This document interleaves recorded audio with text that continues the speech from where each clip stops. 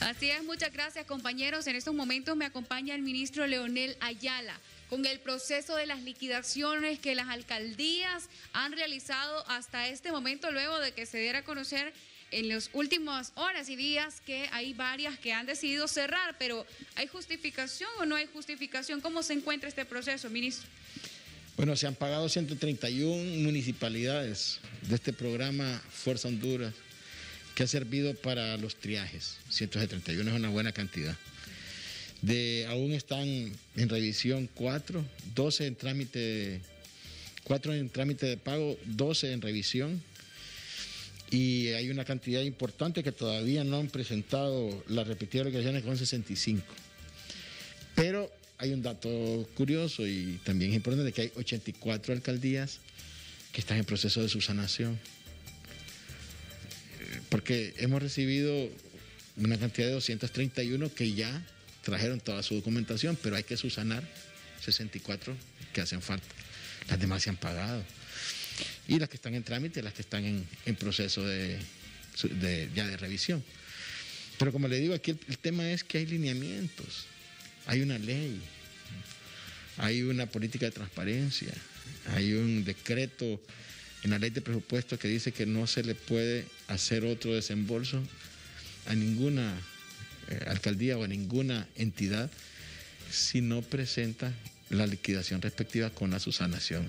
Ahora, en estos momentos, ministro, eh, lo que ustedes han observado de manera más frecuente de aquellos errores que están cometiendo las alcaldías a la hora de subsanar, ¿cuáles? Es que son errores de forma, alguna información que haga falta. Acuérdense que hay lineamientos.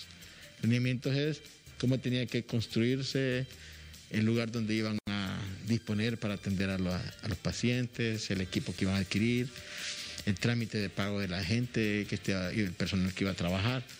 Entonces suponga usted que hay una orden de compra de la alcaldía con una fecha y aparece la factura con otra fecha, tienen que ser coherentes. Entonces son cosas de forma. Eh, aquí no se le está diciendo a nadie que es responsable de ninguna situación, no es nuestra competencia. Nada normal. Eso le va a corresponder al Tribunal Superior de Cuentas.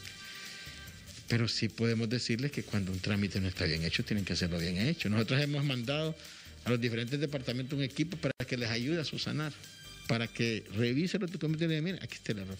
Mire, reemplace este papel, mire, adecue este, este trámite o este pago. Entonces, son cuestiones de trámite. Lo único que hay que hacer es ser, ser disciplinado y ser coherente con la información que brindaron originalmente, ser coherente en su detalle de pago.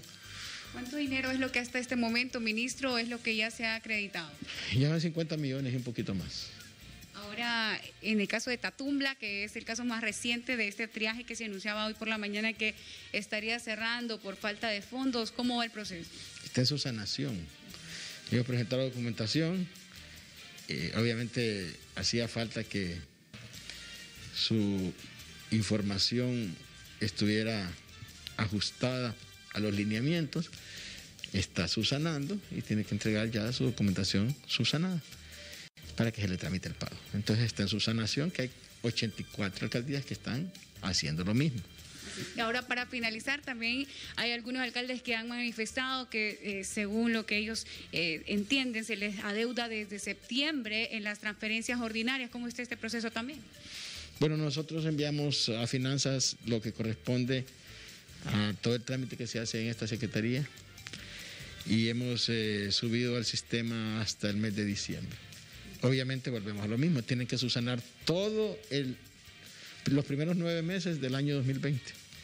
Y el que no pueda subsanar, el que no pueda liquidar, el que no, presentar, el que no pueda presentar toda su información en los primeros nueve meses del año pasado, obviamente puede tener problemas con el pago. Los que ya lo han hecho, yo les aseguro que lo más que les puede estar pasando es que no se le ha pagado noviembre y diciembre. Lo más, pero eso es normal, si apenas estamos terminando febrero.